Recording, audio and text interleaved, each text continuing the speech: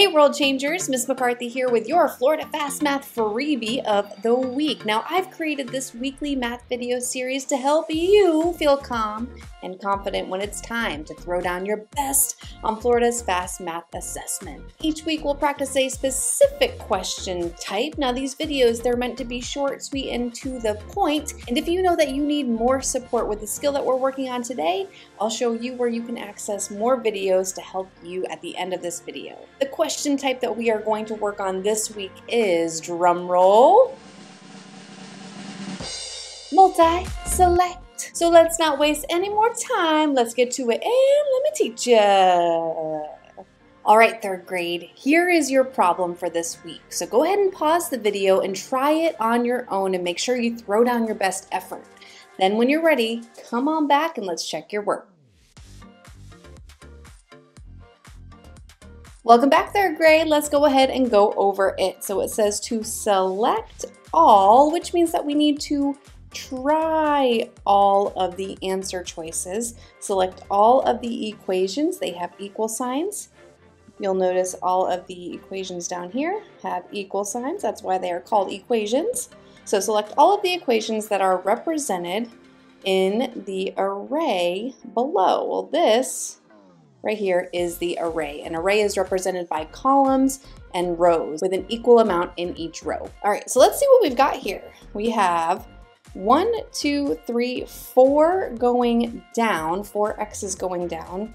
And then we have one, two, three, four, five, six, seven going across.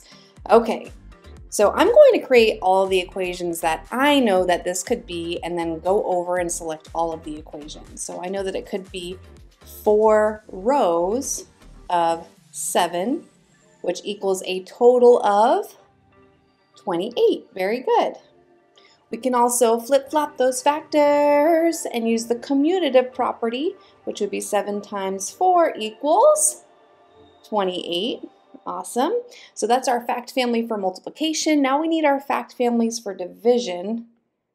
So we need two division fact families there that are represented in this array because multiplication and division are inverse operations. So for division, we need the dividend first, the total first. And how many x's did we have in all? 28, right? So our dividend for both of these is going to be 28. Now we can make it 28 divided by 4 or 7, right? Let's go ahead and do 4. 28 divided by 4 equals 7. And 28 divided by 7 equals 4. You got it. All right, now we have all of our equations that are represented. Let's go over here and match them up. So for the first one, it says 28 times 4 equals n. Do we have 28 rows or 28 columns? No, we have 28 total amount. So this one right here, the 28 is in the wrong place right there. So we can eliminate the first choice. The next one, 4 times n equals 28. So 4 times n, n right there is a variable, and is, n is the variable for all of these. And n in this case represents which value?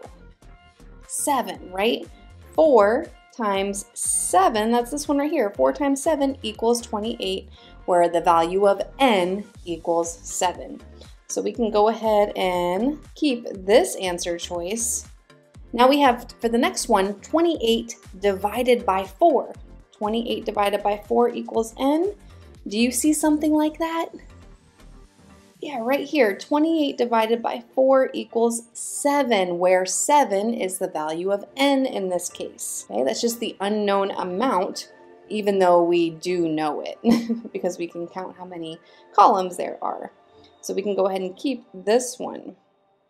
The next one says 7 divided by 28.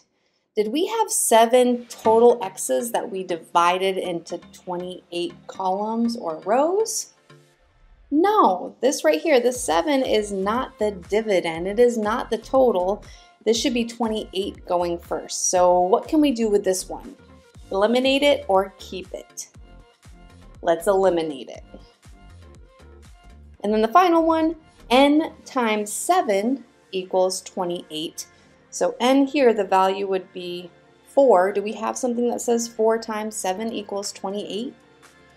Yeah, right up here, right? We've already marked that one, so we can go ahead and keep that one. Now we've done all the work. We have three that we have kept, three answer choices that we have kept.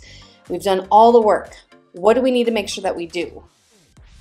Check the boxes, right? So when you're on the computer, you would just put checks on these boxes right here and make sure it's right there with the ones that you've chosen.